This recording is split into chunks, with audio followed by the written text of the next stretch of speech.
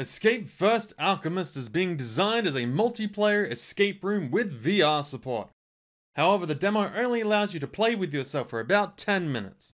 No VR included. A fantastical world of puzzles and adventure awaits you. However, first, the master beckons. It might be important. The mysterious voice beckons you forward, and upon following it, you'll question why you chose this particular fool to be the one to teach you. The master is currently trapped in a book, and it will be your job to free him from his prison. The demo of Escape First Alchemist showcases a beautiful atmosphere, however, fails to show any progression of story or difficulty, instead, showing off the most basic puzzle and interactions. Coming out of the demo, the only thing that gives me hope for this game is the love and care that was put into everything else.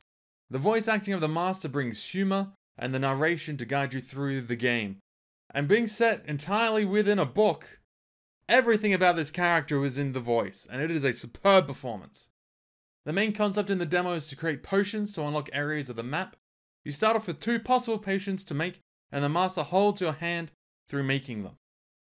Whilst it's understood you don't want to give away the whole game in a demo, it would have been nice to see at least one of the future puzzles in the demo, so we could see how the difficulty and mechanics progressed and became more varied. Checking the previous titles OnSkull Games, of which most are escape rooms, it would appear that there would be more mechanics that aren't shown in the demo that would fit Escape First Alchemist more into the traditional escape room, but we're yet to see this.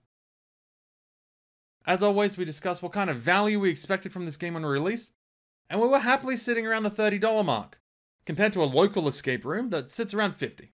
Check out Escape First Alchemist on Steam. It's releasing shortly.